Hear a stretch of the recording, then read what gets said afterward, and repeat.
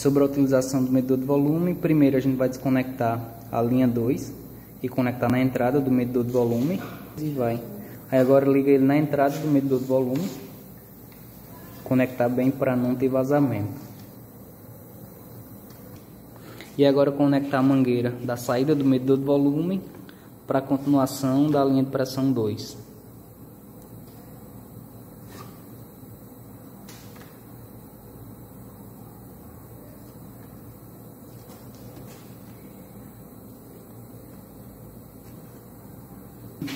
Aí agora conectar a linha 4 na saída do medidor de volume para equilibrar as pressões.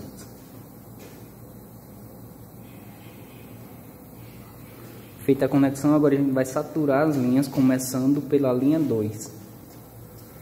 Eu vou fazer o seguinte, abrir a saída da linha 2 e aplicar uma pequena pressão na linha 2 para que a água percole e saia ali.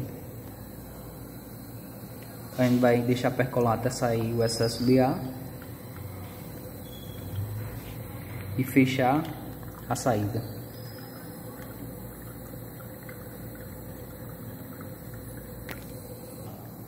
Saturamos a primeira metade, agora saturar a segunda metade. Jogar água pela linha 4, ela vai sair aqui, passar pelo sistema e a gente vai sair aqui na ponta e vai ter que desconectar a entrada da pressão.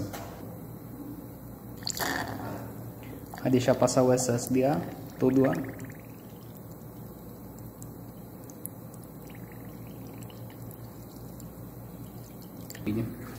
Aí agora a gente vai ajustar a pressão 2 para ela ficar novamente gotejando com a mangueira na altura da célula de carga. Abre mais.